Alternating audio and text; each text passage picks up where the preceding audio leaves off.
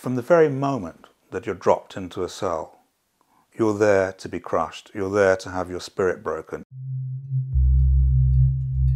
You're there to break down and confess to things that you may, may have not done.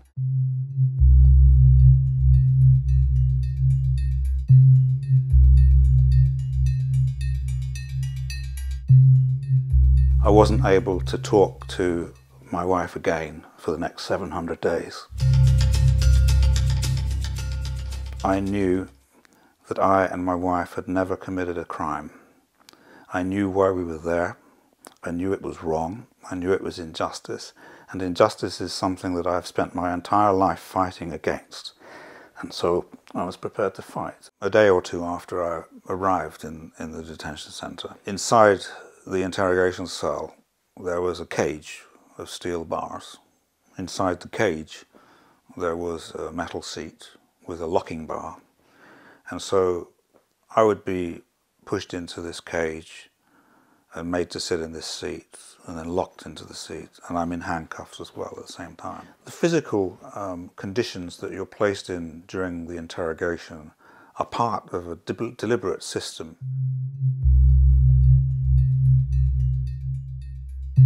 The 700 days that I spent in captivity, I never slept with the lights off. Um, I sometimes think I never slept at all. The prisoners were woken up every morning at 6.30 a.m. by a, a, very weird um, electronic bugle. Um, after that, breakfast would be brought on, on a trolley. They would push um, the food through uh, the gaps in the bars of the door in these metal doggy bowls. You're with strangers in a crowded room, 12 or 13 people in some cases. That's duress. You're not allowed to write to your relatives. You're not allowed to have direct contact with lawyers. That's duress. You don't get sunshine. You hardly get any physical exercise outdoors. That's duress. They broadcast on a TV set that's hanging from the ceiling, um, and it's which piped in from a, what they call the propaganda department. They broadcast some physical jerks, sort of exercises. A PE teacher, you know, telling everyone to do this, do that. Anybody in those conditions is going to be worn down very quickly by anxiety and panic attacks. So every prisoner in this situation, where he's, although he's with other prisoners, he's isolated effectively, um, and he's constantly turning over in his mind.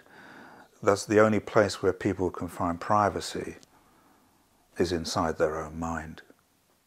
During the 13 months that I spent in that detention centre, um, I was able to glimpse my wife a couple of times through a window of an interrogation cell when I was on my way to meet my lawyer. Um, we were not able to talk. When I received the first letter from her in January 2014, it was like you know, gold dust falling from heaven, right? And from that moment on, this, this sort of strengthened my morale, my resolve, my fight. We wrote more love letters to each other during this period in captivity, in the end, than we'd ever written to each other in our lifetime.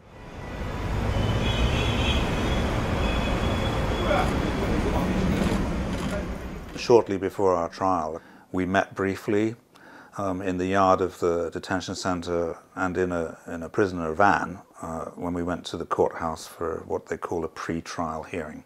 The day that we went to court was one of the most terrible days in my life because it wasn't so much um, the trial itself that made the day terrible. Um, it was the fact that uh, the, the police had played a trick on me before the trial regarding the information about my brother-in-law's death.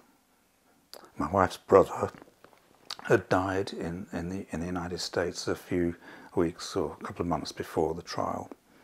The police told me that she knew about it now, that she had been told, and this was a lie. When I arrived in the courthouse, we crossed each other's paths inside the courthouse building.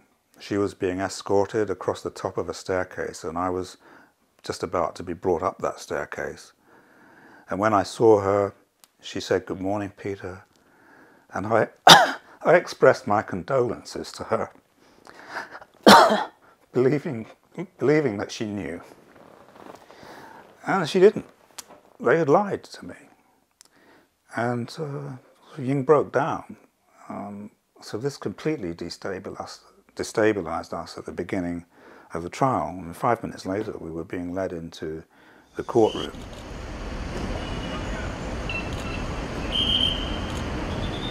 I knew how much um, my wife loves me, and I believe that uh, the love between us is probably what helped us to survive this ordeal.